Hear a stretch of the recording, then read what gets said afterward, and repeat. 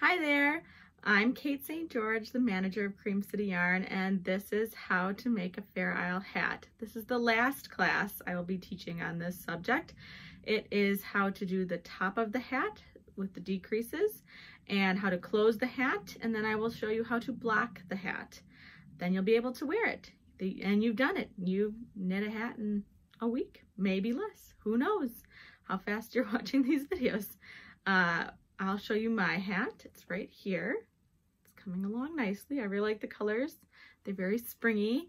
Um, I probably will knit another one. This is a lot of fun. Maybe a more fall colored palette on my next one. I've been seeing some really, really pretty ones with the back. The background is dark and that has been something that I think I might have to knit. I um, I loved teaching you guys and this was very fun. So maybe I'll do another class again for online tutorials. And if you have any questions or you want to visit me uh, when, when the world opens back up, I'll be at Cream City Yarn and we can go over doing color work. Like maybe you want to tackle a sweater next time. This is Skoga Fall by um, Diana Walla, which is a beautiful sweater. I love it. It's out of Lopi, which is an Icelandic wool. We can go into that too. Uh, so we're going to get started now with the top of the hat and I will do a different view so you can see my hands. Now we've moved on to chart C. We will be using this chart for the top of the hat. Uh, there are a couple interesting things to note here. While we will continue changing our colors, our colors on the side like we have been doing for the rest of the hat, there are two interesting little points. This is a knit two together spot right here, and we're going to repeat it a lot. So your hat's going to suddenly get much smaller. And then you're going to move on to these little V's, which are the knit two together, oh, slipped, slip one, knit two together, pass the slip stitch over, which I will show you how to do. That will be a central decrease. It will decrease two stitches at a time rather than just one. We should be done at the top of the hat, so grab your darning needle and let's get decreasing. I am ready to start chart C. It's a little tricky because it starts off right away with a knit two together in this in a different color than your main color, which is a double tricky, but it's not that bad. I will walk you through it. So we are going to knit two together by taking these two stitches right here and knitting them together. I like to start by getting my needle in there and then attaching my purple yarn. And just, ooh, get my finger situated, I'm gonna knit. There we go.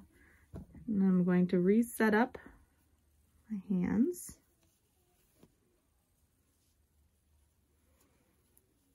And we're gonna knit five. So that involves a catch too. So one, two, I think five is too long. If you don't think five's too long for your float, that's fine. Just leave it along. But I'm going to show you how to catch it just one more time. So bring my yarn forward, wrap around, bring my yarn back, catch. All right, and now I'm going to do another knit two together.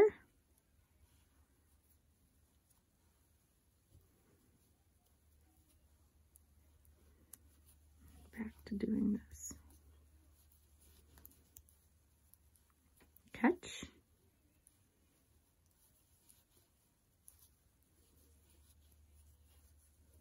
And knit two together.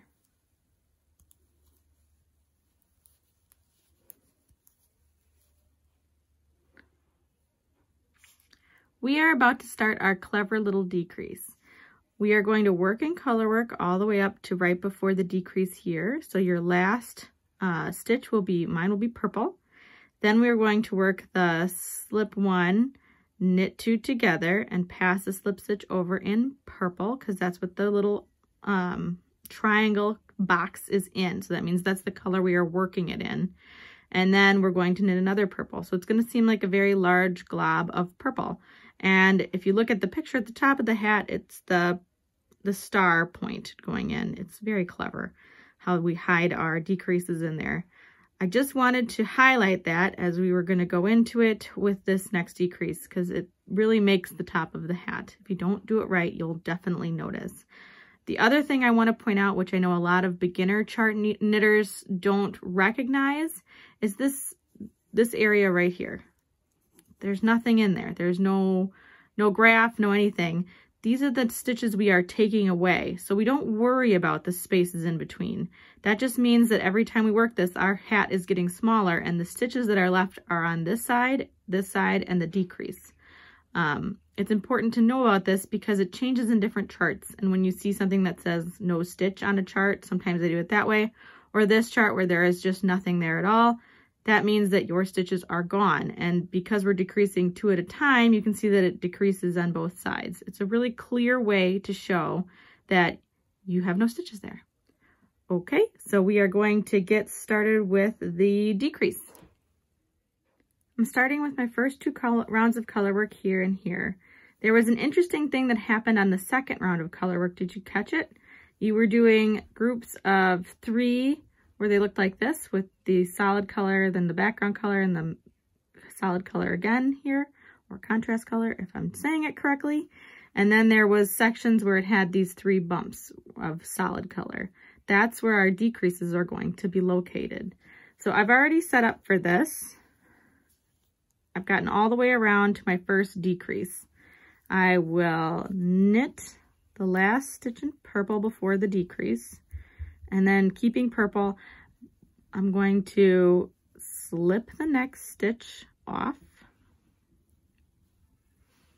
knit the next two together,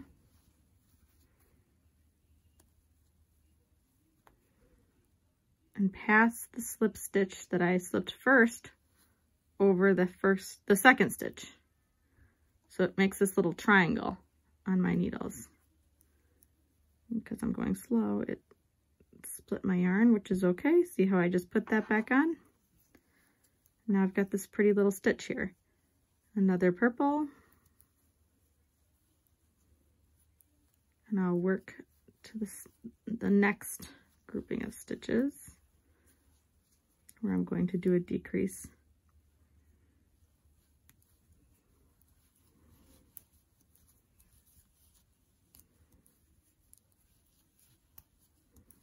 I'll do that next decrease one-handed so you can see if you're dropping your stitches what it looks like.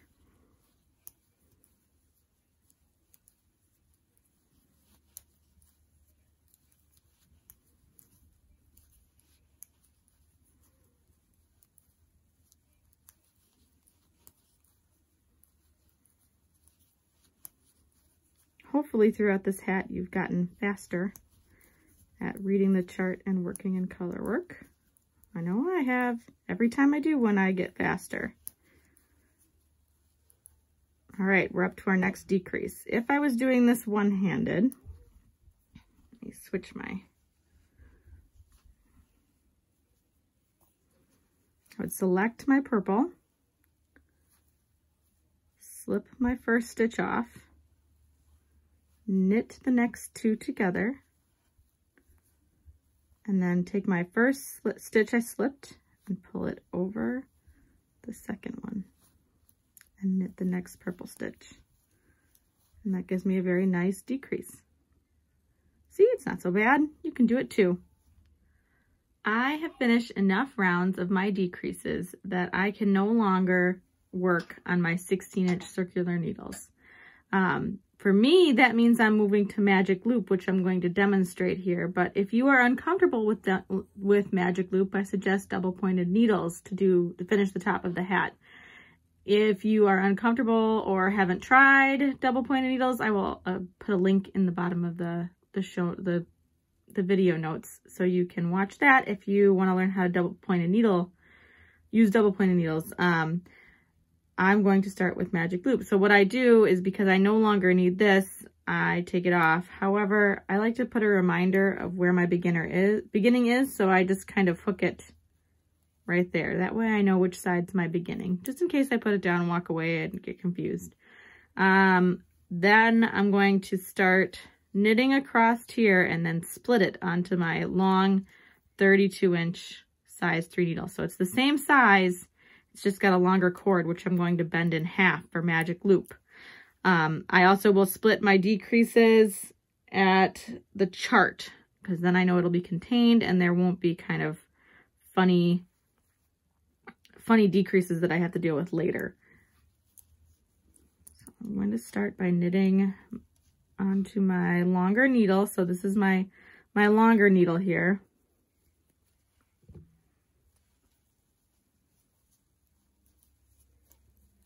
And staying in pattern across the chart.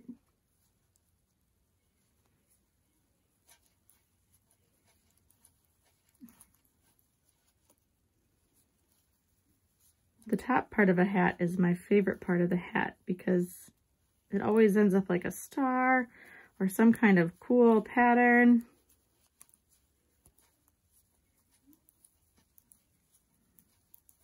I think they're just pretty.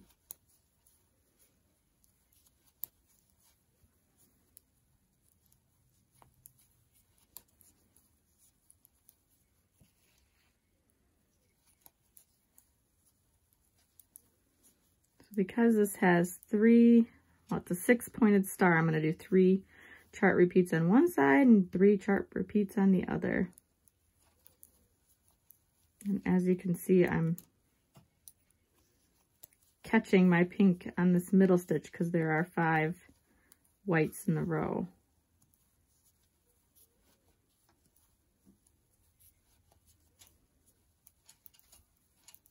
That was the second repeat.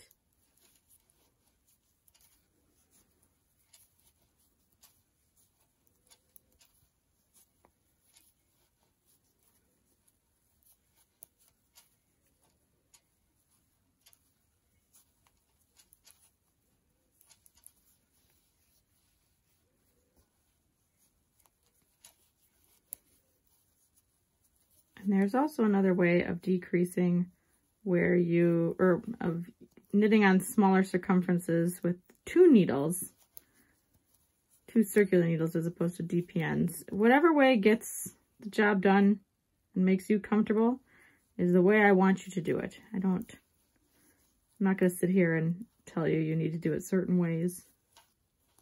Knitting should make you happy. Okay, so I've gotten to the end of my chart. And that half of my needles, or half of my stitches are on this needle. The next thing I'm going to do is pull this until the, I see the other end of the needle, which is over here. And I'm going to flip it over. And I'm going to pull this back that was just to show you. Normally I wouldn't do that big of a, a pull, but if you're new to this, so now I'm going to start working in magic loop. You get this loop here and you fold it in half. And now I'm going to be working with my cord folded in half. And I'm back into the chart. Nothing has changed there. Same kind of knitting going on. But now I've got this little rabbit ear here.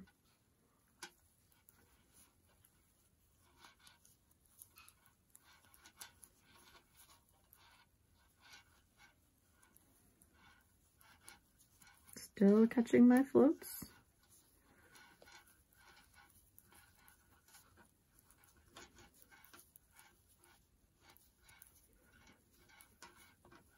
And as you can see, my 16 inches off and I won't need that anymore in a second.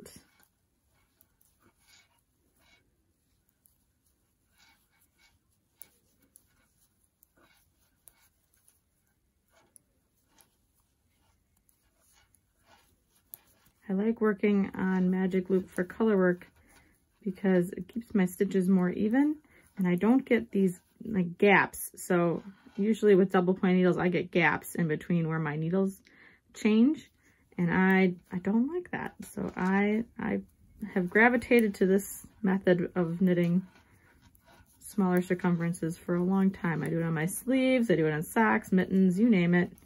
It's always magic loop for me. Plus, I have small humans in my house and they are gonna steal those DPNs. That's just, that's asking for trouble.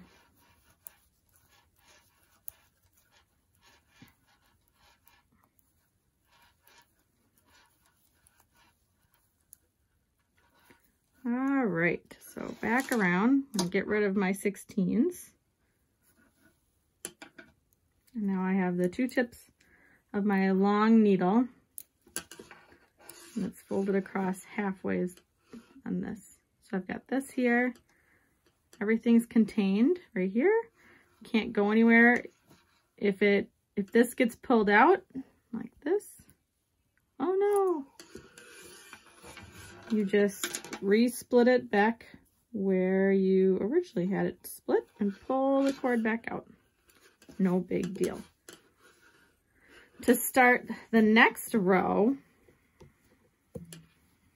I simply get myself, I call this starting position for a magic loop. I don't know what other people call it, but your needle with the yarn attached to it goes to the back and your needle that you're going to use comes to the front and it involves flipping. So on the other side, you do the same thing. You just flip it. Then I push the needle that I'm going to use into the work, getting ready to work it. And then I pull the, the needle with the tails out and get ready to knit my next round. I know this is a really brief explanation of Magic Loop, and I will again provide another slow-mo video in the in the links if I can find it. Otherwise, a better tutorial about Magic Loop in the links. Um, I will be back when we close up the hat, and then I will show you how to weave in ends after that and black. I've just finished the last round of the top of my hat. So my decreases are all done. I snipped it for ease of videoing, but you could snip yours now. I've snipped both of my tails, probably about 10 inches, 8 inches, somewhere in there. And I've got my last bit of decreases there.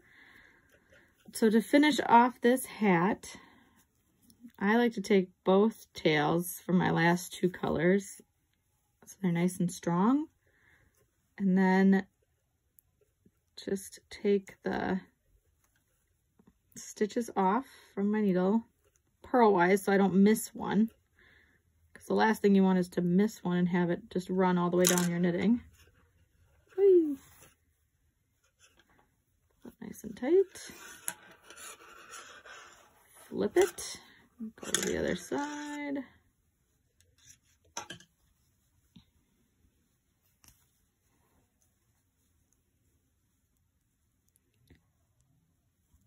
Get these this side off.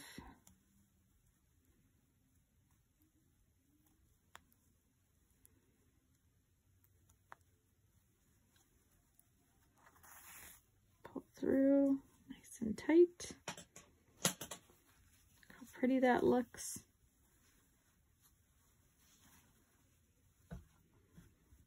And then I take everything and I stuff it down the center.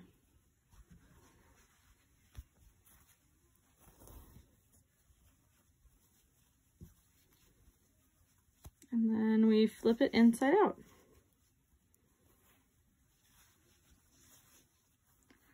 Now I will spend probably the next hour putting all these tails into my work so you don't see them anymore. Um, it can be, so you don't tie knots. That's something you never do in knitting. I mean, it can be simple as just kind of running your needle through the inside floats I like to give myself a little bit of extra tail just in case it ever comes loose or I need to take it out. Probably never, but you never know. So I make my, my last two stitches really obvious in my hat. The other ones I'll take more care to, to hide, but the last two I always do pretty obviously. Snip close, but not in the fabric.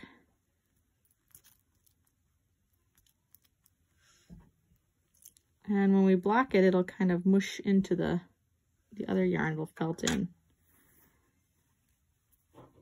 And now we begin the arduous task of, of putting the tails in. I like to use a really sharp needle for those singular threads.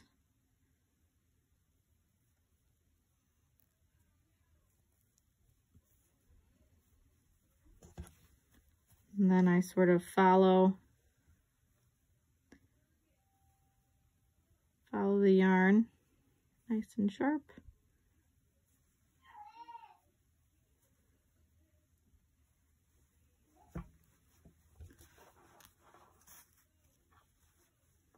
See how that is? And then I snip.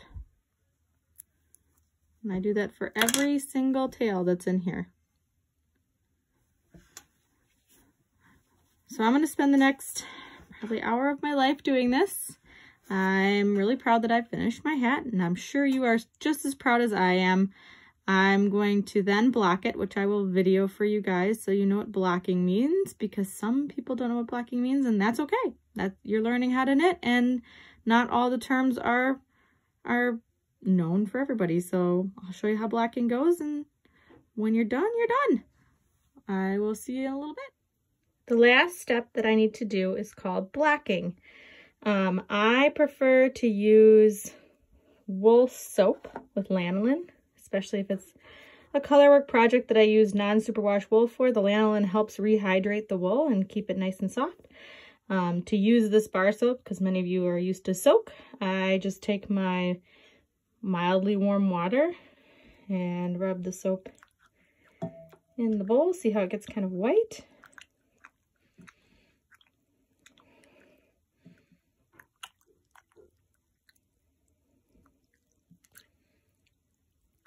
It's sufficiently white,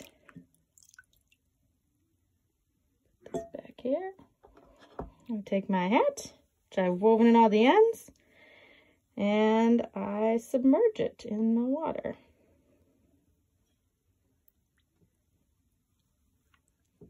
Now I'm going to let that sit for 15 minutes to a half hour, letting it get all the water into it and letting all the fibers relax and it sort of fills in the color work. So we'll see the end result once I let it sit. Um, I'm going to roll it up in a towel and let it dry overnight. My hat has been soaking for about a half hour. Um, to remove it for the next step, I'm going to pull it out of the water. I'm doing this one-handed, so it's not going to be perfect, but Try and get as much water out before I get it into the towel. There's no need to rinse, really. It has a ton of water in it. It's very heavy. And then I lay it out on my towel. You can already see how the colors have kind of gotten softer. All my edges are less sharp in my color work. And then roll it up.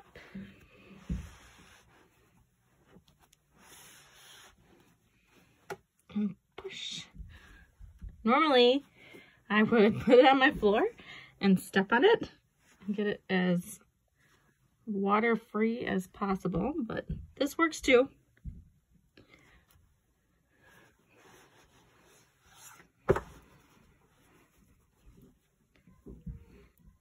Now, if you want your hat to be more rounded, you can you can finish drying it over a um, over a bowl. Sometimes I do that, sometimes I don't.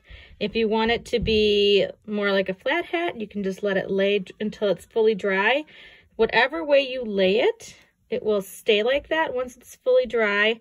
Um, kind of like wet hair and curlers, that, that'll set it. If you, you can always wash it again and change the size of it and the direction of it if you want. I hope you enjoyed these videos. I'm so glad we were able to finish our hat. Turned out really great. And thank you for joining Cream City Yarn in a free class. If you have any questions, please let us know. I had a lot of fun doing this. I hope you did too. And I hope you have a great night. Thanks. Bye.